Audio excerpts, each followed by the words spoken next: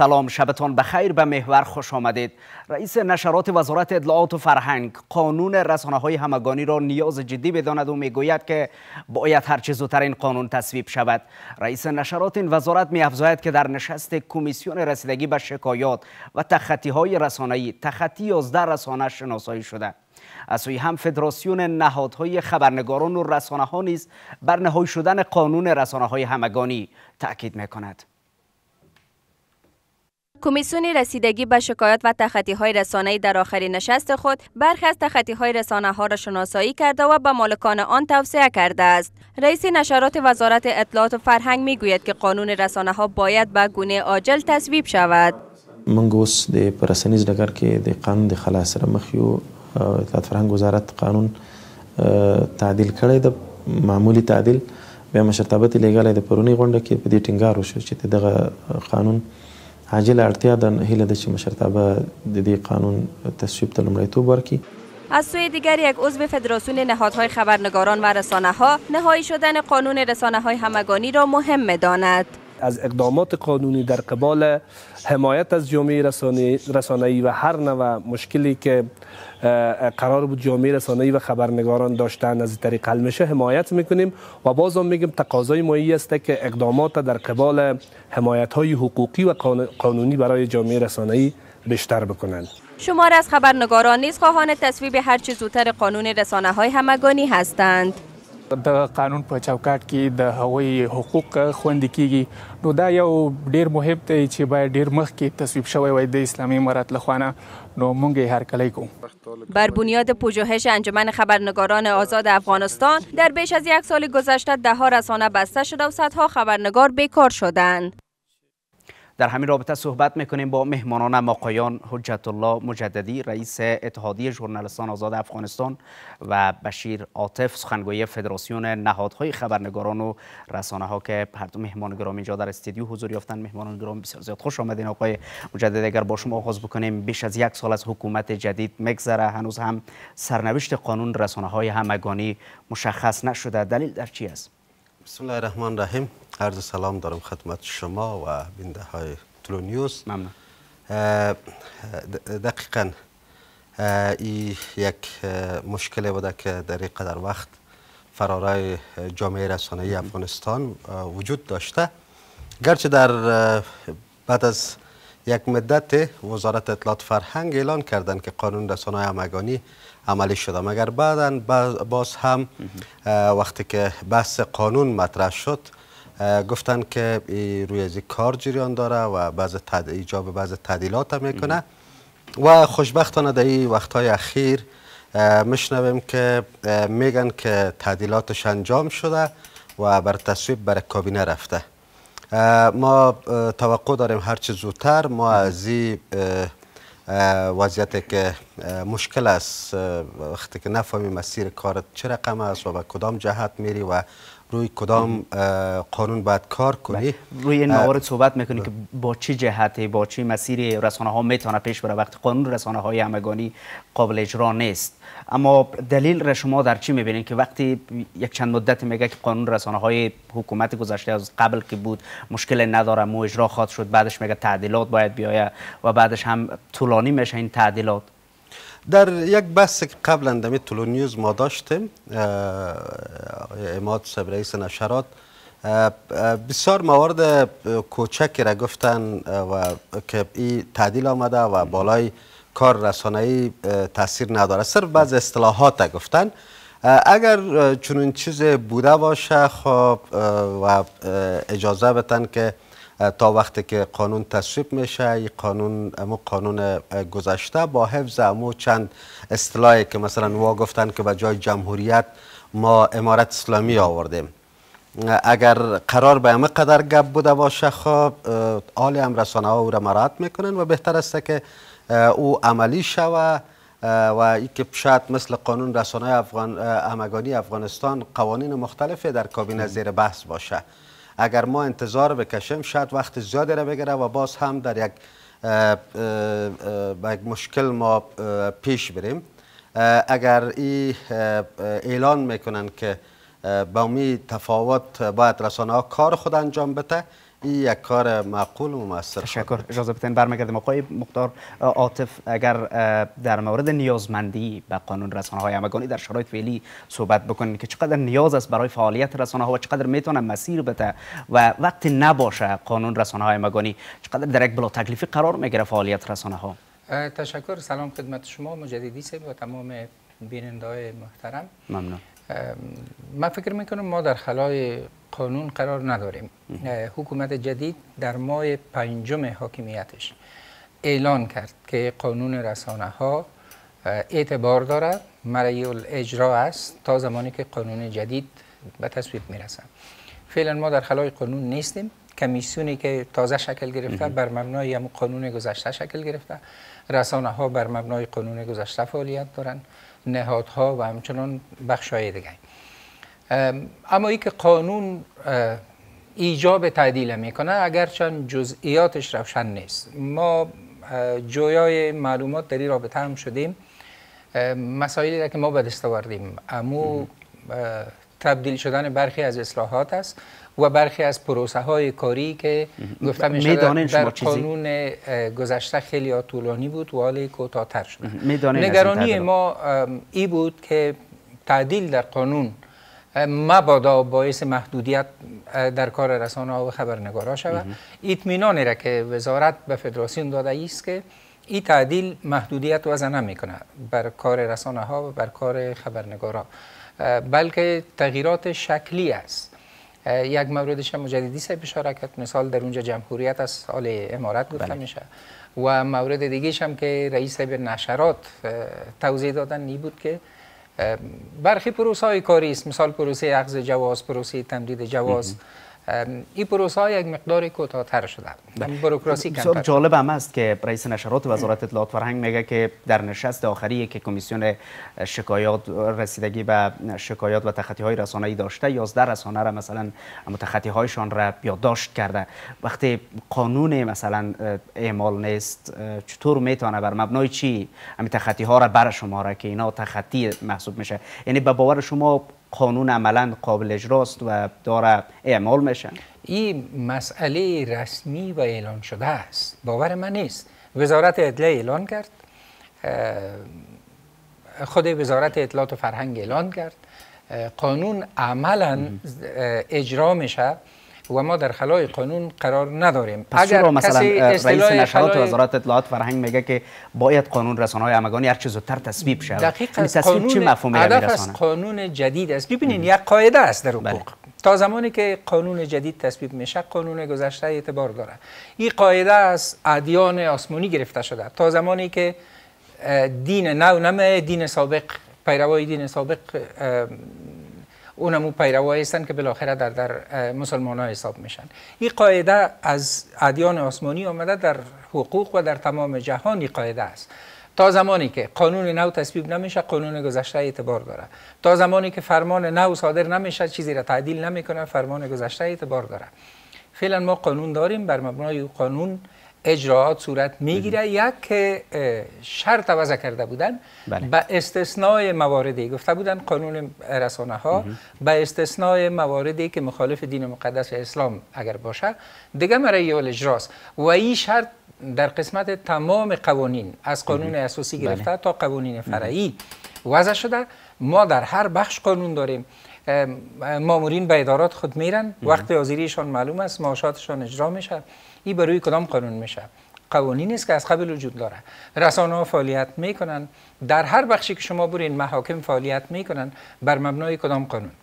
قوانین گذشته نافذ است اما طبیعتا قانون بر مبنای طبیعت خود با گذشت زمان تعدیل میشه. تغییر یکی از نیازمندی های جوامع بشری است که قانون با گذشت زمان تعدیل میشه و اصلاح میشه. ممنون شما. آقای مجدد وقتی یک چنین موضوعی باشه و قانون عملا قابل اجراست و مراعات میشه پس نیاز نیست که زیاد منتظر بود که باید هر چه زودتر تصویب شود؟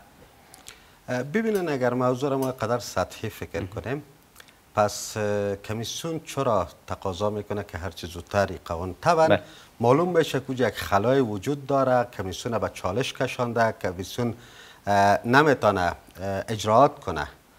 در این حالت کمیسیون رسیدگی به تخلفات رسانه‌ای او تقاضا می‌کنه که قانون زودتر تصویب شود و ای که یک دو سه مورد از این قانون خب ما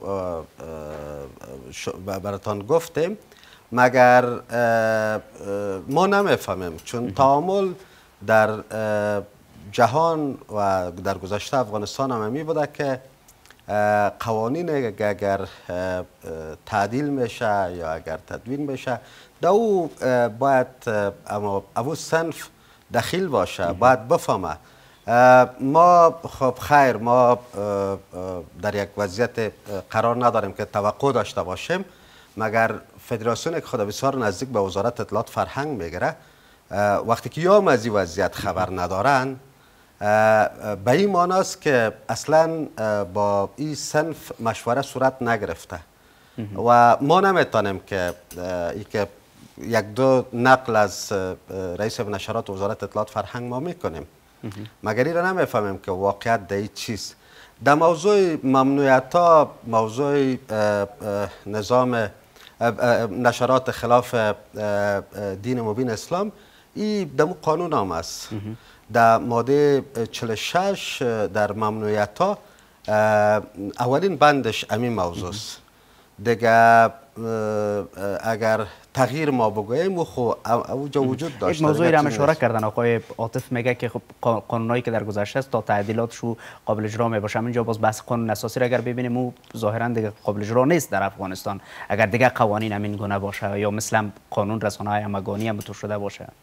ببینین ما وقتی که یک, یک نهاد رسمی که برگرفته از امو قانون بوده و ایجادش به اساس امو قانون شده که کمیسیون است و او که تقاضا می‌کنه طبعا ما احساس می‌کنیم که یک با یک چالش او باید روبرو شده باشند. در جریان تصامیم خود چون تصمیم باید بر مبنای قانون گرفته بله. شود. قانون را کمیسیون می‌گیره باید بر مبنای قانون بگیره خب همین موضوعی که میگه ما تخطی 11 رسانه را در نشست آخری که کمیسیون رسیدگی به تخطی های رسانه‌ای داشته برچیدیم حساب کردیم توصیه شده به مسئولین رسانه ها اینجا خب بر مبنای چی؟ کدام را؟ امیر ما میفهم می‌خوایم بگیم که بر مبنای چی قوانین قانون گذشته یا قانون نو. اگر بر مبنای قانون گذشته می‌تونستن خود چرا؟ خب باید ای را اعلان می‌کردن. در کدام رسانه ها کدام رسانه ها و چی تصامیم گرفتن در موردشان؟ ما تصورم است که شاید ای را اطلاع داریم که بالای یک تعداد از رسانه ها به تخطی که بالایشان گفته میشه که وارد شده و باید در کمیسیون به بررسی گرفته شود. ما تصور میسته که شاید با میان به یک چالش مواجه شده باشند و بعد از این تصمیم تقاضا کرده باشن و خواسته باشن که بله. قانون زودتر یک مسئله محدودیت ها هم مطرح است در برخی از رسانه ها برخی محدودیت های هم وضع شده. اگر ما به او قانون ببینیم و او حالا اگر قابل اجرا است خب در اونجا این مسائل مطرح نبوده. ولی ما می‌بینیم که برخی از چیزهای به عنوان خطوط سرخ مطرح میشه. اینجا فکر می‌کنین که چی تصمیم گیرنده است؟ مثلا کدام محدودیت؟ مثلا ما می‌بینیم در مورد پوشانیدن چهره زنان. مسائل هم ربط می‌گیره به مسائل قانون رسانه ها یا نه؟ فعالیت بانوان خبرنگار. ببینین ما در گذشته از قانون اساسی گرفته تا قانون رسانه ها در همش در تعریف بعض اصطلاحات ما به مشکل مواجه بودیم. در گذشته هم بحث منافع ملی مطرح بود. در منافع ملی یک وزیر وقتی که بالایش انتقاد می‌شد می‌گفت این خلاف منافع ملی است ما وزیر از این مملکت هستم. وقتی که بالای من انتقاد میشه این نظام آسیب می‌بینه نظام صدمه می‌بینه و این خلاف منافع ملی است. به این شکل در مسائل مختلف ما مشکلات در گذشته هم داشتیم. بله. در قانون من که قبلا تذکر دادم در ممنوعیت های قانون قبلی هم گفته شده که نشرات رسانه ها مطابق به اصول دین اسلام ایار شوند. مگر ایجا باز فرق می‌کنه که او وقت تعبیر چه رقم می‌کردن و آل چه رقم تعبیر می‌کنن؟ علمای او زمان ایره چه رقم در این رابطه توضیح می‌دادن و او را تفسیر می‌کردن بله. توجیه می‌کردن و علمای فعلی چطور؟ این یک بحث تقریبا علما است که در زمان به یک رقمی را تفسیر می‌کردن و امروز دیگر رقم تفسیر می‌کردن. مگر مواردی که مگر یک مورد را که ما از بعض رسانه ها شنیدم که حتی گفتن انتقاد باید صورت نگیره مگر ای خو بحث قانون اگر کنار بگذاریم. ما روز دو روز قبل یکی از همکارای ما رها می شد ما در یک نقطه بسیار مهم یک در بالای دروازه یک لوحه را متوجه شدم به جای نام از او اداره. یک قول حضرت عمر رضی الله عنه بود که شما در صورت اگر درست چیز که نتونسته باشم خب یک یک قسمتی که ما برداشت کردیم او را میگم که به طور اشتباه گرفته نشه. میگه اگر می‌خواین که یک نظام سالم و اصلاحات به وجود بیارین از از حضرت عمر خودش میگه که از او در مورد هر چیز بپرسین. یعنی از هر کار کردش پرسان کنین.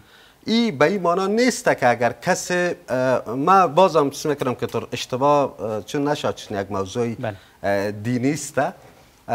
خب ما یاد داشتم که نتونستم او را و چیزام و او را تحقیق می‌کنم که پیدا کنم. و یک مثال دیگری داریم که حضرت عمر رضی الله عنه اگر در موردش لباسش پرسان میشه. در مورد لباسش ای که دیگه زندگیش موتر زریش آروسی های چند دفعیش در هوترهای بسیار مجلل. اگر این مسائل مطرح میشه این خب بحث بخی جداست. وقتی که از حضرت عمر رضی الله در مورد لباسش پرسان میشه خب ما باید من حیث مسلمان من حیث یک نظام اسلامی حاضر باشیم به همه چیزا پاسخ بدیم تا مردم هم بفهمن که واقعا ما به مو راه و روش حضرت عمر رضی الله عنه روان هستیم. هرگاه اگر ما میگیم که انتقاد نکنین این به این معناست که ما پس ما نگویم که بر راه روش حضرت عمر. خدا کنه که اشتباه باشه و اگر اینطور یک چیز باشه انتظار داریم که ما در مسیر اصلی خود بریم. ممنون شما. آقای عاطف اگر واقعا قانون رسانه های همگانی یک گذشته حالا داره اعمال میشه ما اگر یک توجه بکنیم به شما در گذشته هم بودین حالا هم هستین وضعیت رسانه ها را هم می‌بینین یک تغییرات بسیار فاحش را شما در نشرات رسانه ها می‌بینین نسبت به دوره پیش از آمدن امارت اسلامی و حالا. او زمان قوانین به گونه درست مراعات نمی‌شد یا نه؟ این حالا که این قوانین قابل اجرا است قوانین مراعات میشه یا همین که قوانین کنار گذاشته شده محدودیت ها گذشته یا فراتر از قوانین داره اعمال میشن؟ خب تشکر یک توضیح بسیار کوچک بدم که فدراسیون مدافع حقوق خبرنگارا و رسانه ها است نه دوست یا همکار وزارت. ما از این سبب نگرانی خود را با وزارت در میان گذاشتیم. مقامات وزارت مشنون حرفای ما را. و ایرم به صراحت میگم که اگر قانون تعدیل شده جدید محدودیتی بر کار رسانه ها یا خبرنگارا وضع بکنه فدراسیون با تمام قوت به او مخالفت خواهد کرد. در هیچ شکی نیست و شما شاهدش شاد بودین.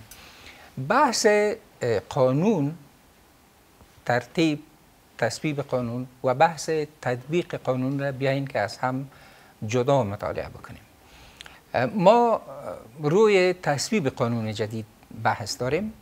اگر شما موارد نقض قانون میایین به حساب می‌گیرین این قانون در دوره جمهوریت هم بارها نقض شده و در دوران امارت هم بارها نقض شده. سوال اینجا مشخص است که امیال ما در خلای قانون هستیم یا رسانه ها در خلای قانون است در خلای خب قانون اینجا مشکل در کجاست؟ حالا قوانین داره نقض میشه یا در گذشته نقض شده؟ چون امی تغییرات در از چی است من خدمت شما عرض کردم. که 11 رسانه را تخطی هایش نشاندهی می‌کنن بر مبنای کدام قانون. قانون داریم. وقتی میگیم وضاحت داده نشده بل... وقتی میگیم تخطی کردن از چی تخطی کردن؟ از قانون تخطی کردن. وقتی کمیسیون شکل می‌گیره بر مبنای امو قانون گذشته امی کمیسیون ترکیبش در قانون ذکر است. که در اصلش وزیر اطلاعات و فرهنگ است نماینده حقوق بشر است دو نماینده از نهادهای رسانه است دو نماینده از بوانزه ژورنالیسم است. اینا همگی ذکر است. وقتی کمیسیون مطابق او شکل می‌گیره پس هم او قانون در مرعی و اجرا است. وقتی رسانه ها فعالیت می‌کنن وقتی شما را میگن از فشارها صحبت می‌کنین که این بحثتان یا بگونی مثالی حرکتتان درست نیست مخالف قانون است. پس هم قانون اونا مدار اعتبار قرار دادن. و این مسئله پنهانم نیست آشکارا است اعلان شده. درست. پس اگر یک چنین بله. چیزی است همین تغییرات را شما ناشی از چی می‌بینید تغییر در قانون نه قانون در وضعیت رسانه ها مثلا در پوشش رسانه ها رسانه انت...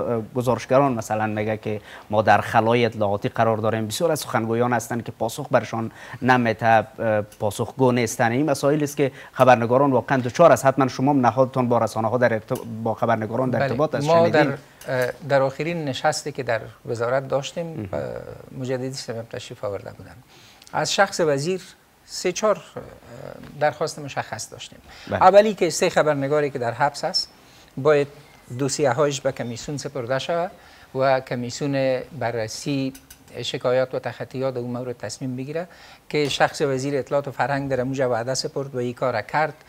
دو نفرش به پادرمیانی کمیسیون رها شدن و ما امیدوار هستیم در رابطه به شخص سوم هم تصمیم گرفته شود. در رابطه به سخنگویا حرف مشخصی را که ما با وزارت داشتیم ممی بود که در این اواخر سخنگویا در ادارات به میان آمدن مقرر شدن. اما اونا معلومات کافی ارائه نمی کنن معلومات مسلکی ارائه نمی کنن. حالی که سخنگویا را شما مقرر کردین لطفا سخنگویا را بفهمونین. بله. بر از اینا سمینار بگیرین درس بتین و مواد قانون را برشان تشریح بکنین که بر مبنای مواد قانون معلومات مکف... کافی مکمل و در خور پذیرش رسانه ها را ارائه ولی وقتی گفته میشه بر رسانه ها آقای مجددی هم مشکل دری شما نمی‌تونین انتقاد بکنین. آقای مثلا در رسانه ها گفته میشه که شما نمی‌تونین انتقاد بکنین. با کدام اگر... رسانه در کجا گفته شده؟ من یک نکته را براتون بسیار به وضاحت میگم. کسی حق نداره که رسانه را بگه انتقاد نکنین و رسانه و خبرنگارم باید آنقدر سست انصر نباشه که به این گونه حرفا تندر بته و انتقاد نکنن. هر دو خلاف قانون این مثل رشوت دهنده و رشوت گیرنده است. هر دو بر خلاف قانون حرکت می‌کنند. تغییرات را شما شاهد بودین مثلا در محتوای رسانه ها در نحوه نشرات رسانه ها تغییرات, تغییرات از چی ناشی میشه تغییرات او مسائل روشن است. ما در می گزارشی که ارائه کردیم در اونجا مجددی صاحب تشریف داشت. گفتیم که بالای سریال ها وضع شده ممانعت وضع شده که سریال ها باید نشر نشد نی روشن است واضح است. گفته شده که مطالبی که مخالف دین مقدس اسلام باشه باید نشر نشه در رابطه با خانم ها محدودیت وضع شده که اینا باید ماسک استفاده بکنن این مواردی است که روشن است پنهانم نیست آشکار گفته خب شده این در بله. از اینی قانون گرفته شده, وضع شده. از بله. قانون رسانه ها یا جدا از این قانون رسانه ها بالای ماسک بحث نمی‌کنه اگر این مسائل ما شما جستجو بکنیم خب باید مراجعه بکنیم به قوانین مدنی. در اونجا این مسائل تشریح شده. که چی گونه است؟ و ما در این رابطه بحثای هم داشتیم گفتیم بارها صحبت کردیم. اگر داخل این بحث شویم ای را بگیریم به بررسی بدون شک از اصل موضوع دورتر میشه مگر بحث قانون بحث تصویب قانون بحث تعدیل قانون تا بحث تطبیق قانون تفاوت داره ما در تطبیق قانون مشکل داشتیم مشکل داریم و شاید مشکل هم داشته باشیم تا یک زمانی را. که این ظرفیت ها از هر جانب بگونه ایار شوند. رسانه های امام باید قانون 100 درصد رعایت بکنه خبرنگارای امام وزارت اطلاعات و فرهنگ هم و مسئولین امنیتی هم رعایت بکنه. در تمام جهان تخطی وجود داره قبلا هم وجود داشت آله هم داره. اما تلاش تلاش ما باید بری باشه ما بتانیم مقدار ببخشین سطح تخطی از قوانین پایین تر بیاریم پایین تر بریم تا اینکه قانون تطبیق شد ممنون. تو آقای مجددی. بس این است که رسانه ها بتونن آزادانه فعالیت بکنه بتونن که اطلاع رسانی به گونه همه جانبه انجام بده. خود سانسوری در خبرنگاران نباشه حراس وجود نداشته باشه. اینها همهش در قانون رسانه های همگانی وضاحت داده شده و در قانون رسانه هایی که حالا رفته به تصویب و دوباره تکمیل میشه و مریول اجرا میشه او زمان فهمیده میشه که چگونه میتون رسانه ها فعالیتشون را به پیش ببره. چقدر مهم است این مسائل و برای حکومت که مسیر را روشن بکنه تا رسانه ها کاری را بر مبنای ما انجام بده. و اگر گاه گاهی برخلاف او قدم گذاشت پاسخگو باشه در برابرش. ما زمان می‌تونیم به این وضعیت در رسانه ها و جامعه رسانه ای به این وضعیت دستی بیافه که همونطور که بلا تکلیفی قانون مشخص شود. و کمیسیون رسیدگی به تخلفات رسانه‌ای یک کمیسیون که امو صلاحیت هایی که برش داده شده باید او را اعمال کنه.